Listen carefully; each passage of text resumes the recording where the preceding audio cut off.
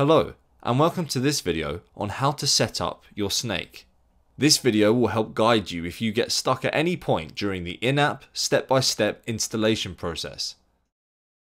Before you start setting up your snake, make sure that you have the Plug and Plink app installed and that you have made an account. To start the setup process, press the Snake Setup button on the home screen. Step 1. Wiring up. How you wire up your snake depends on what type of keyboard you have. You will have one of two types. Most commonly, your keyboard will make its own sound, either through its own speakers or through an audio output jack. You may instead have a controller keyboard that doesn't make its own sound and has to be plugged into a computer to make sound. Select which type of keyboard you have to continue. Standard keyboard. Firstly, we need to give your snake some power. Included in your box is a USB-A to USB-C power adapter and a wall adapter. Simply plug the USB-A end into the wall adapter and plug the wall adapter into the nearest wall socket. To give your snake power, simply plug the USB-C end into one of the USB-C ports in her tongue. It doesn't matter which side of her tongue you use. If your snake's nostrils light up, she's receiving power. If you can't see them light up, make sure that your wall socket is switched on. Remember to never plug in two power sources into your snake at the same time, as this can damage your snake or your other equipment. Now that your snake is wired up to power, it's now time to wire it to your keyboard. Check the back of your keyboard. If you have MIDI DIN ports, we recommend you use these ports. Select this option in the app and move on. If you don't have MIDI DIN ports, you should have a USB B port, in which case select this in the app to continue. MIDI DIN Included in your box is a MIDI to USB adapter. Plug the adapter into your keyboard. Note that there is an in cable and an out cable. The in cable must be inserted into your MIDI out port and the out cable must be inserted into your MIDI in port. Also note that you may have more than one MIDI out port and that you should plug your in cable into MIDI out port 1.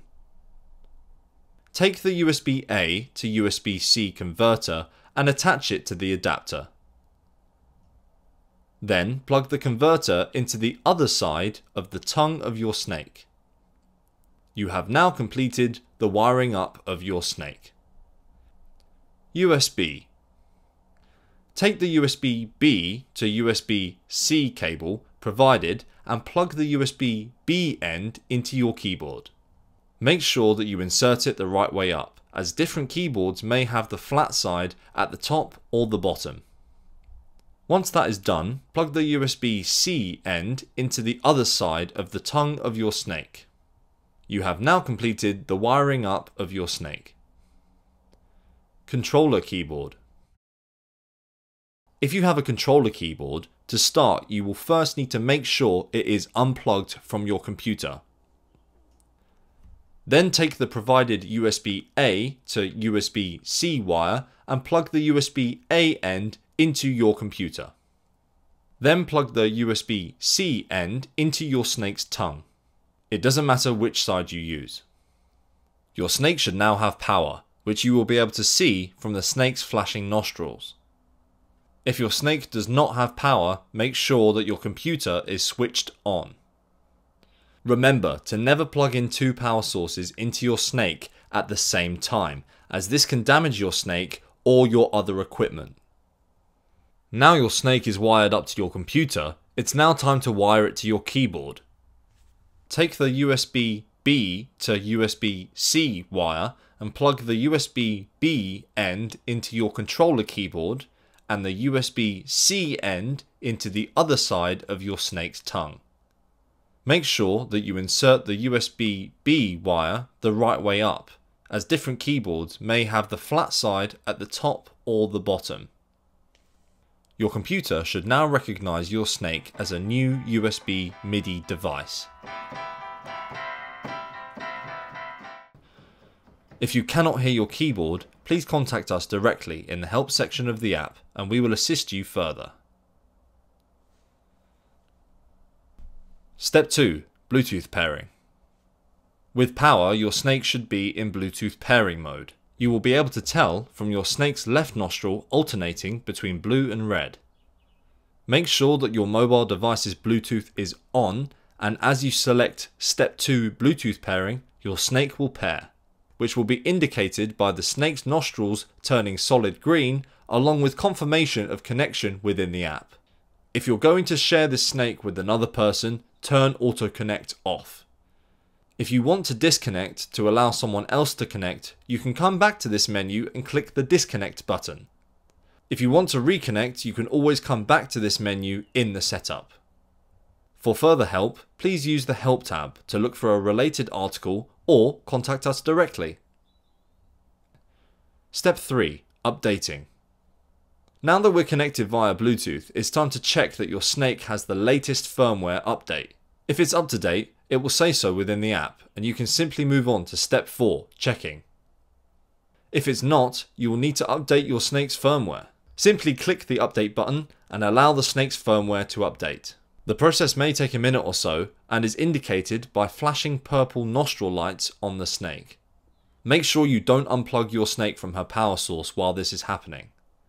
Once the update is complete, your snake will reboot automatically. If you're experiencing any issues at this stage, please contact us directly in the help tab of the app. Step 4. Checking. The check should confirm that all the necessary connections have been made, in which case your snake is fully connected and you're ready to move on to step 5, positioning. If you want to check that your snake's lights work, you can do so by clicking the check lights button. If your piano cannot be identified, make sure that your piano is switched on. If this does not fix it, try replugging in the wires going into your piano and your snake.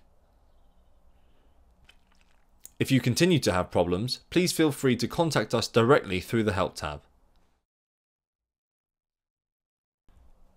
Step 5. Positioning. Now it's time to get the snake sitting in the correct position on your piano. When moving your snake, remember you can only bend your snake backwards. Don't bend her forwards, sideways, or twist her.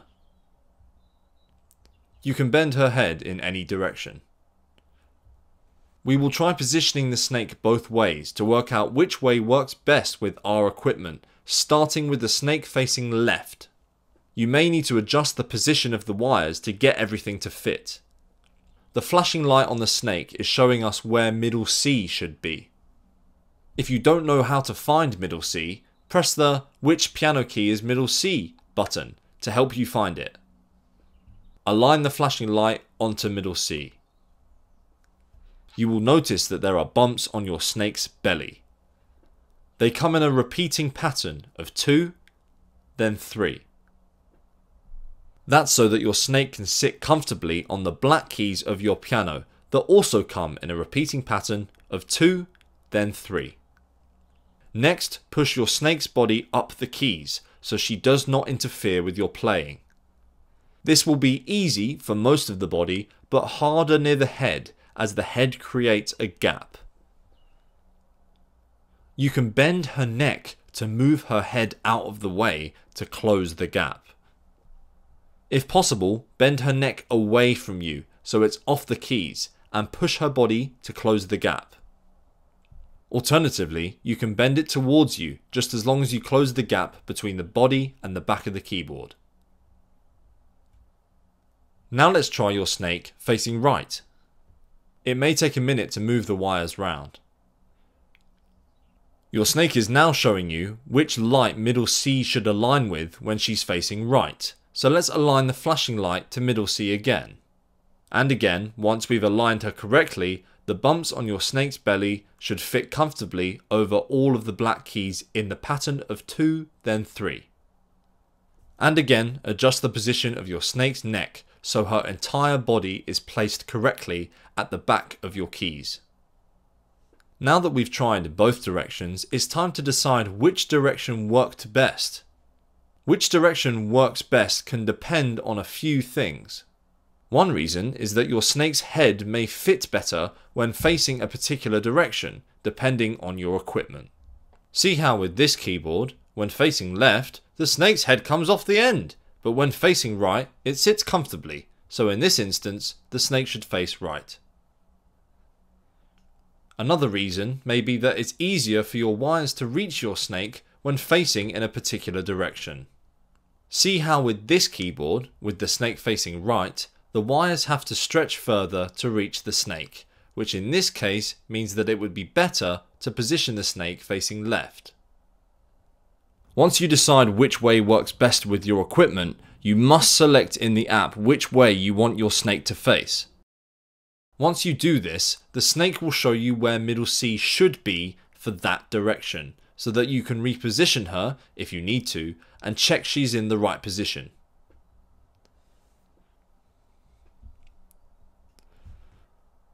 Step 6. Testing. Now let's test that your snake is positioned correctly and that it is successfully communicating with your keyboard. On page 1 of testing, press some notes on your keyboard. The correct light above the correct keys will indicate that you've positioned your snake correctly and can move on to the second test. If the lights are mirroring what you're playing, it means you have inputted the wrong direction in the app you can fix this by going back to step 5 positioning and inputting the correct direction your snake is facing.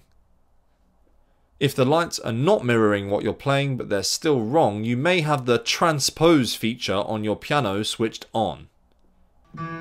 For example, you can transpose this E note down to make it sound like a lower D flat, but now your snake thinks that you're playing the transposed note, so if you turn off the transpose function on your keyboard, the light will align. If the lights are showing one octave above or below where you're actually playing, see here that F is being played but the light is being shown above a different F note, then you may have not aligned the flashing light with middle C correctly, in which case you should repeat step 5 positioning. Remember, you can always contact us for support in the help tab of your app if you continue to get stuck. And now for the final step before you're ready to start using your snake. Let's test that your snake can send notes to your piano. Make sure your volume on your piano is on and click play my piano to enjoy the song.